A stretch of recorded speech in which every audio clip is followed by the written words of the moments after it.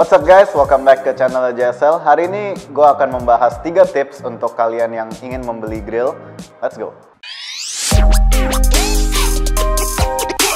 Tips nomor satu, kalian harus memperhatikan model grill yang kalian mau. Jadi di JSL ada grill seperti Apollo, Alphard, Transformer, Lexus, dan lebih banyak lagi. Dan itu sangat mengaruh ke style mobil kalian. Jadi pilihlah grill dengan selera masing-masing dan juga kalian harus memperhatikan kualitas grillnya dan secara fitment dia bentuknya bagaimana di mobil kalian. Dan juga jangan lupa karena grill tuh di depan mobil ada fungsinya yaitu airflow. Jangan sampai grill kalian pilih itu menghambat airflow mobil kalian.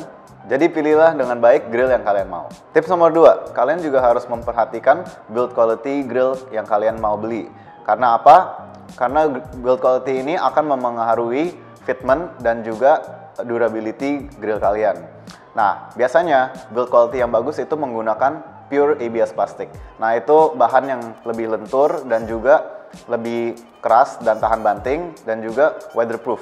Jadi, misalnya ada hujan atau kalian pun tinggal di negara dingin, snow atau segala macam, itu plastiknya tidak terlalu um, expand atau contract dengan gampang. Sesudah itu, yang kalian harus tahu adalah JSL punya grill semuanya terbuat dari pure ABS plastik yang pasti.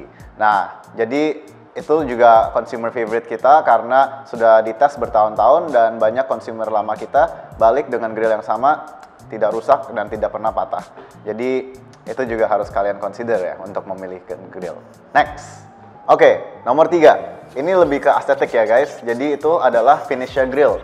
Nah, finish ini ada banyak, ada matte, chrome, dan gloss dan juga macam-macam lagi. Jadi kalau kalian pilih grill punya finish, jangan asal-asalan karena ini akan di depan mobil kalian setiap hari akan kalian lihat.